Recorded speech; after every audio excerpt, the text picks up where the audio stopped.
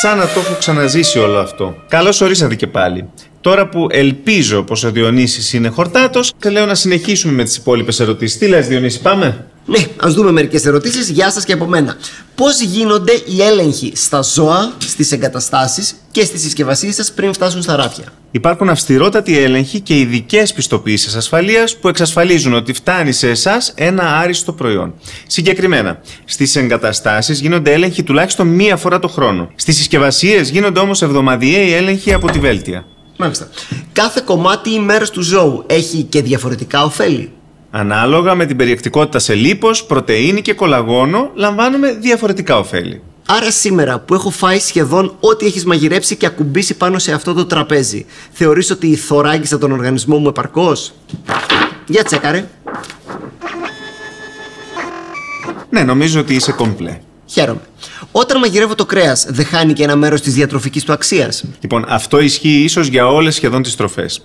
Παρ' όλα αυτά, για να διευκολύνουμε την πέψη και την κατανάλωση, επεξεργαζόμαστε θερμικά το κρέας, που παραμένει όμως πολύ θρεπτικό και μετά το μαγείρεμα. Ναι, OK, okay, από το να το φάω ωμό, ας χάσει και λίγη από τη διατροφική του αξία, δεν έγινε και τίποτα. Λοιπόν, αυτές ήταν οι ερωτήσεις. Μανώλη. Διονύση. Περνάω πολύ ωραία κάθε φορά στα γυρίσματα αυτών των βίντεο. Νιώθω ότι φεύγω πλουσιότερο σε γνώσεις και σε θερμίδες, αλλά αξίζει τον κόπο. Με αυτά και με εκείνα, σαν να ξαναπίνασα λίγο. Τι άλλο έχεις εδώ, για. Τώρα που έμαθα τόσα πράγματα για το κρέας, νιώθω ότι μπορώ να εκτιμήσω καλύτερα τη γεύση του. Μισό. Mm, ναι, νιώθω στο στόμα μου τις ελεγχόμενες συνθήκες ανατροφής του ζώου.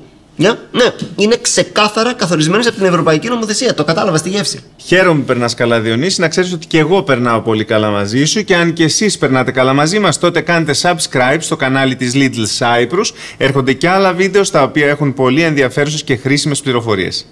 Α, και κάτι ακόμα σημαντικό. Να μην ξεχάσετε να πατήσετε το καμπανάκι για να σας έρχονται ειδοποιήσεις κάθε φορά που βγαίνουν νέα βίντεο. Ήταν τόσο σημαντικό που αναγκάστηκα να σταματήσω το φαγητό μου για να σας το πω. Οπότε αντιλαμβάνεστε τη βαρύτητα της κατάστασης.